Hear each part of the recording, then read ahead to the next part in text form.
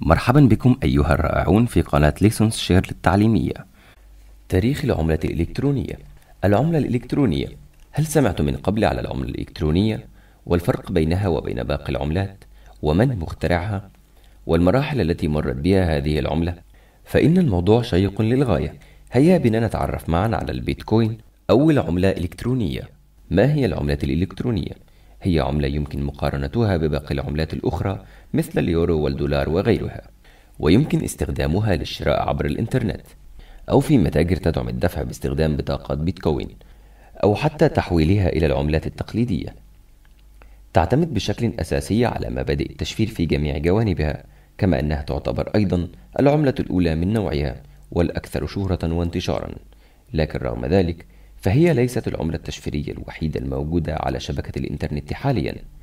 ما الفرق بين عملة بيتكوين وباقي العملات الأخرى؟ تختلف عن باقي العملات فهي عملة إلكترونية تتداول عبر الإنترنت بشكل كامل وليس لها وجود فيزيائي مثل باقي العملات. ليس لها هيئة تنظيمية مركزية تقف خلفها. من هو مخترع البيتكوين؟ 2008 شخص مجهول أطلق على نفسه ساتوشي ناكاموت هو مخترع فكرة البيتكوين. ووصفوها بأنها نظام نقدي إلكتروني يعتمد في التعاملات المالية على مبدأ peer to peer وهو مصطلح تقني يعني التعامل المباشر بين مستخدم وآخر دون وجود وسيط. في العام 2016 أعلن رجل الأعمال الأسترالي كريغ ستيفن أنه هو ساتوشي ناكاموتو مقدما دليلا تقنيا على ذلك ولكن تم كشف زيف أدلته بسهولة. كيفية الحصول على عملات البيتكوين عبر الإنترنت؟ موقع الكاباتشا والفوسات. تعد مواقع الكاباتشا والفوسات من أسهل المواقع التي تتيح لك فرصة كسب البيتكوين بدون أي استثمار وتختلف هذه المواقع من حيث مدة الانتظار وسرعة الدفع والحد الأدنى له. سعر البيتكوين. تمتلك بيتكوين سعر صرف خاص بها ويتجه هذا السعر إلى تصاعد إذ يصل اليوم إلى 2400 دولار بعد أن كانت تعادل بضعة دولارات فقط منذ سنوات. أول صراف آلي. في عام 2013 مقهى إسبريسو في مدينة فانكوفر بإقليم بريتش كولومبيا الكندي. امتلك أول جهاز صراف آلي ATM في العالم لعملة بيتكوين. كيفية الدفع؟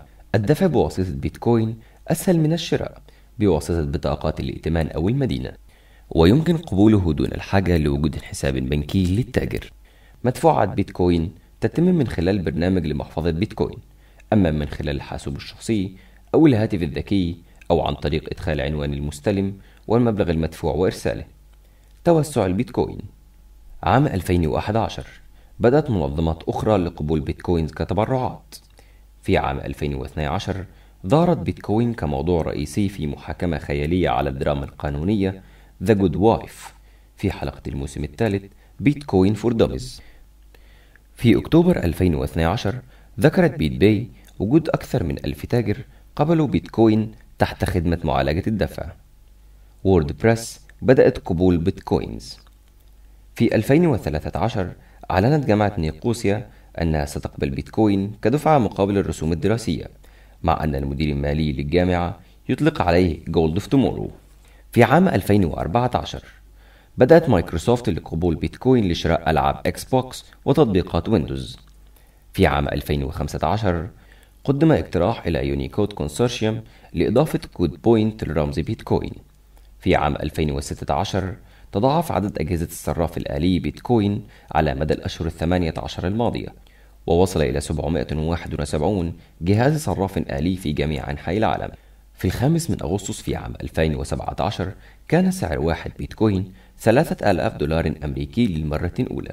في الثاني عشر من أغسطس في نفس العام كان سعر واحد بيتكوين 4000 دولار أمريكي للمرة الأولى. إذا أعجبك هذا الفيديو اضغط like and subscribe ليصلك كل ما هو جديد كما يسعدنا مشاركتكم بالتعليقات.